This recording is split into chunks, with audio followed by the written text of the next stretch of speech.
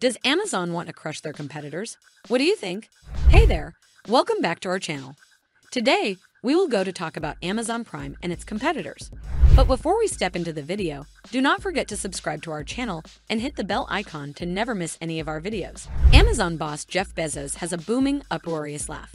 Unleashed during workdays, its sonic purse startles people, given it comes from as harsh and driven a taskmaster as exists on the stage of corporate gigantism. Is Bezos' outward giddiness a worrisome reflection of what Bezos is feeling on the inside? Is he laughing at all of us? Is Bezos laughing at the tax collectors, having avoided paying most state sales taxes for years on all the billions of books he sold online, thereby giving him an immediate 6 to 9% price advantage over brick and mortar bookstores that also pay property taxes to support local schools and public facilities? That, and being an early online bookseller, gave Bezos his crucial foothold, along with other forms of tax avoidance that big companies utilize. Is Bezos laughing at the bureaucratic labor unions that somehow can't get a new handle on organizing the tens of thousands of exploited blue collar workers crying for help in Amazon warehouses and other stress driven installations? With a net worth of over $80 billion, why should he worry? Is Bezos laughing at the giant retailers who are closing hundreds of stores because their thin margins cannot withstand Amazon's predatory pricing?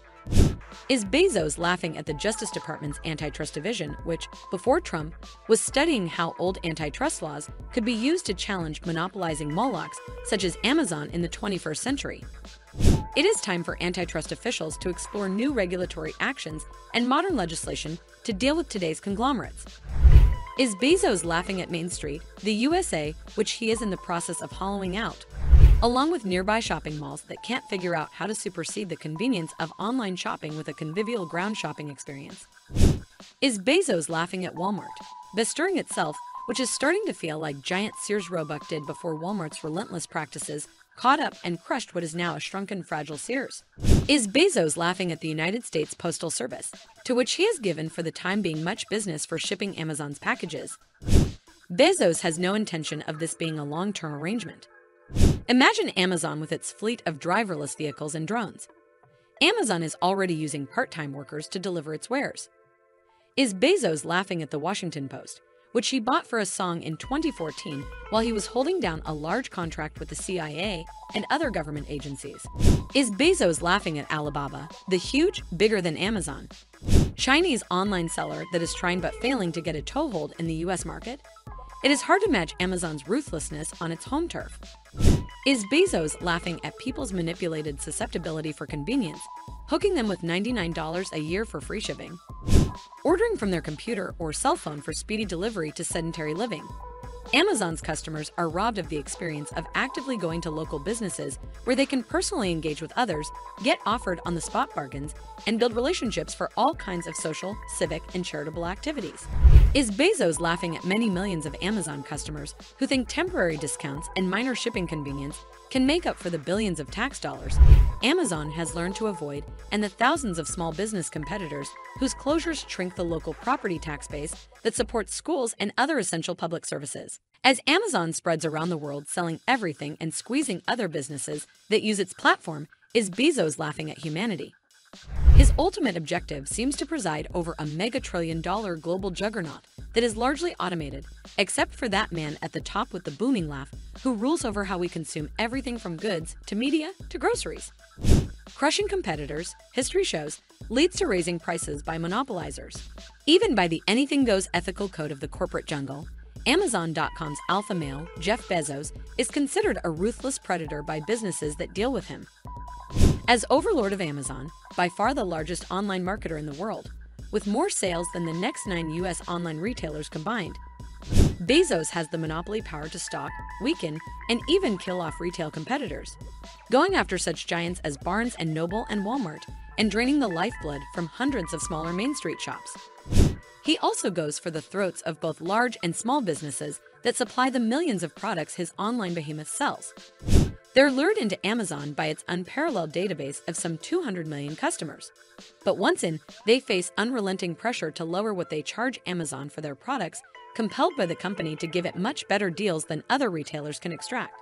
Lest you think a predator is too harsh a term, Consider the metaphor Bezos himself chose when explaining how to get small book publishers to cough up deep discounts as the price for getting their titles listed on the Amazon website.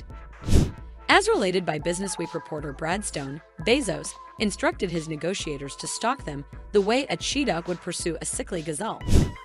Bezos' PR machine tried to claim this sneering comment was just a little Jeff joke, but they couldn't laugh it off, for a unit dubbed the Gazelle Project had been set up inside Amazon. This top-level team focused on doing exactly what Bezos instructed. Pursue vulnerable small publishers and squeeze their wholesale prices to Amazon down to the point of no profit, thus allowing the online retailer to underprice every other book peddler. When Stone exposed Gazelle last year in his book, The Everything Store, the project was suddenly rebranded with a bloodless name, Small Publisher Negotiation Program. But its mission remains the same. Today, Amazon sells a stunning 40% of all new books, up from 12% five years ago. It is even more dominant in the digital book market, which is fast catching up to the sales level of physical books and is widely perceived as the future of publishing. Electronic book sales were non existent just seven years ago. Today, about a third of all books sold are ebooks, and Amazon sells two thirds of those. Of course, Amazon also owns Kindle, the largest selling device for reading digital books. With his market clout, deep pocket financing, and ferocious price cutting, Bezos has forced hundreds of America's independent bookstores to close and has humbled the superstore book chains that once preyed on the independents and dominated the market. Borders, the second largest chain, succumbed to bankruptcy in 2011. Now Barnes & Noble, the largest brick and mortar bookstore, is stumbling. It has lost millions of dollars, closed dozens of stores, shrunk most others, and suffered the embarrassment of its old chairman frantically dumping big chunks of Barnes & Noble stock. Bezos' online empire not only stands alone as the paramount bookseller, but is also the dominant price setter, the arbiter of which titles get the best access, or none, to the biggest number of buyers, the most powerful reviewer of books, the publisher of its line of books, the keeper of an in-house stable of writers, and even the sponsor of a major book prize. He achieved this the old-fashioned way brute force. While it's true that Amazon is innovative, efficient, and focused on customer satisfaction, such factors alone did not elevate Amazon to its commanding level of market control.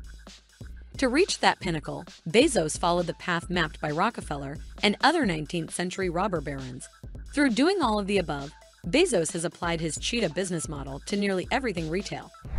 Amazon's massive book dominion is now dwarfed by its annexation of dozens of other markets. Book sales now make up a mere 7% of Amazon's total business. Amazon has already captured more than a third of all online sales with a website that's a phantasmagoric mall of unimaginable size, containing what amounts to hundreds of virtual superstores. In the process, and with the same deeply discounted prices they use to conquer the book business, Amazon has poached millions of customers from neighborhood shops and suburban malls. The chase for cheap has been great for Amazon, but it is proving intolerably expensive for your and my hometowns. Our local businesses lose customers and have to close, local workers lose jobs, and local economies lose millions of consumer dollars that Amazon siphons into its faraway coffers. What makes that even more intolerable is that much of Amazon's competitive advantage has been ill-gotten, obtained by dirty deeds. We are at the end of the video. Well, what do you think about it? Tell us in the comment and do not forget to like and share the video. Don't forget to subscribe to the channel. We'll catch up in the next video. Till then, bye. Take care.